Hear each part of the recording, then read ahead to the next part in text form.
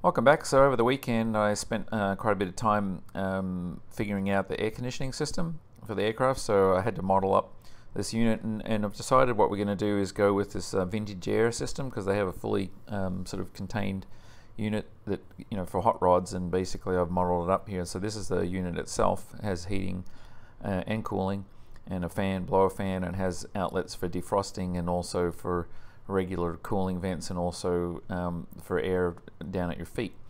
Um, so anyway, I found a place where it will fit behind the dash without sort of disturbing anything else, but obviously I need to make some more brackets and stuff for that.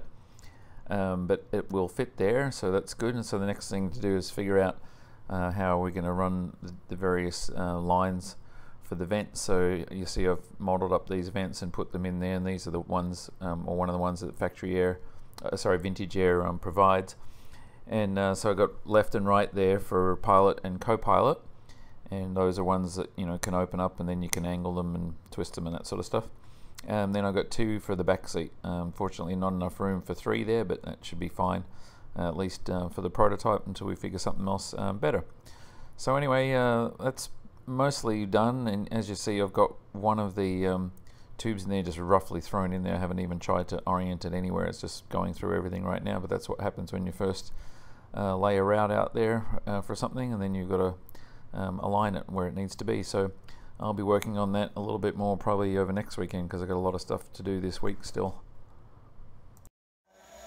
And so back in the shop if you saw the last video we decided we were going to make um, remake the seat mounts and lift the seats up another couple of inches. Um, so the guys really quickly threw together this uh, platform and away we go and by the end of the day on um, Monday, the platform had been made and milled and actually glassed. So that's, I think, a personal record for us, getting everything done uh, in one day. So next up on that thing is once the glass is cured for Tuesday, uh, we were putting some putty on it. And this is now Tuesday, so basically running. So this is um, prior to lunchtime on Tuesday. It was already had the putty on it and uh, moving along. And the guys started laying up the mold for this one. This is the brace that uh, goes around the parachute and uh, helps support the um, engine mount uh, with respect to the firewall. So that was the one that we had to redo as well to fit the new parachute. So that one's uh, underway. And I've been cutting out some more parts. There's some for the aileron controls there. There's a bracket for the uh, nose gear tow bar. And this is the bracket here that's going to hold the um, landing and taxi lights. It needs to be welded up. So those are coming along. And this afternoon I was over at the dyno shop uh, with Ed and he was uh, getting the engine sort of dialed in a little further um, in preparation for Drake showing up, who's actually now going to be showing up on the 19th, this is when he's scheduled, um, 19th of October. So we've got to wait a little while, but that you know gives them time to uh, get this new tune sorted out. And I'll explain that a little bit more in a minute. But you see, uh, Ed's got the engine running here he's put a bunch of new sensors on there that um, send information directly into the Motec ECU and ultimately can be displayed on the screen. So we get things like boost pressure and and uh, you know engine um, coolant temperature and that sort of stuff.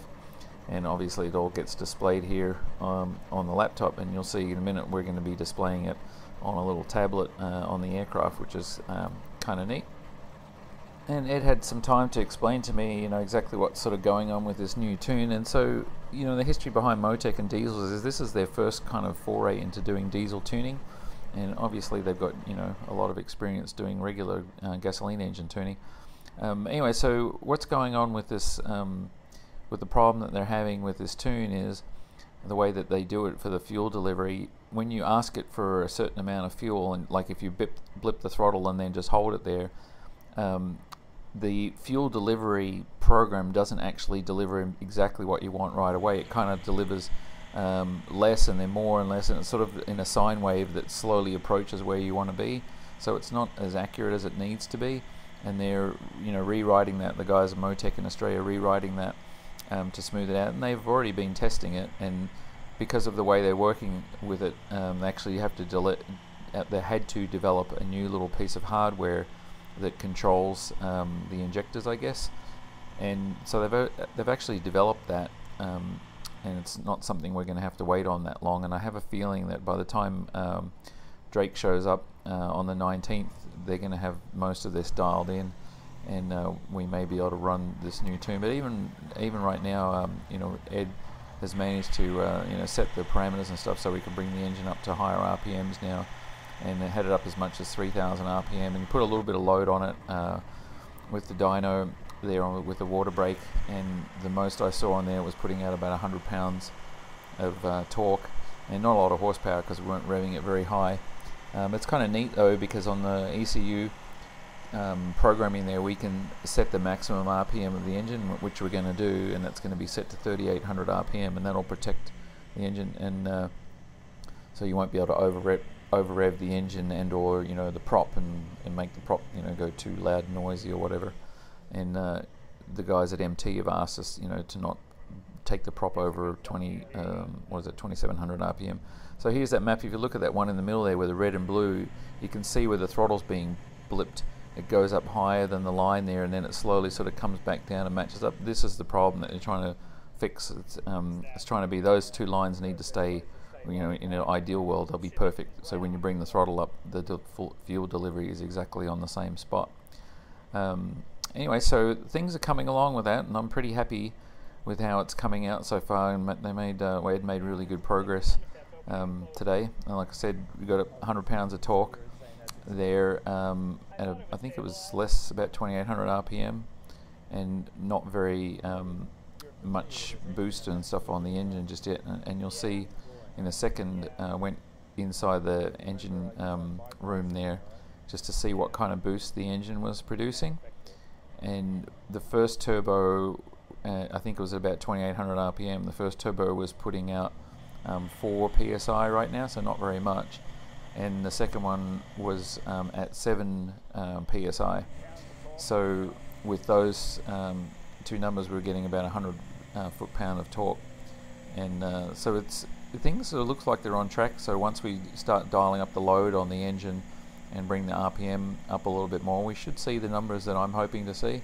Um, but again, until we do, it's it's still you know a bit of a, a question mark, and it won't be until uh, Drake shows up that we'll see that. So if you look here, you should be able to see the first gauge that's putting out 4 psi, and the second gauge there is putting out about 7 psi.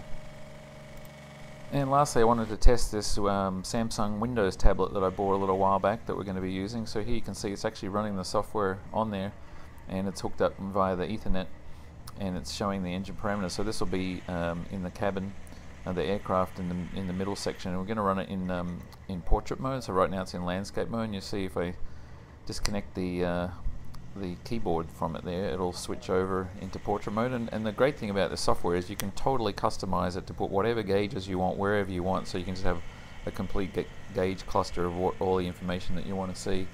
So, um, you know, obviously these are really small right now, it isn't configured correctly, but once we dial it all in and get it configured, it's going to look really neat and you're going to have every bit of information you've ever wanted to have out of your engine um, completely available um, on the screen. So that'll be good.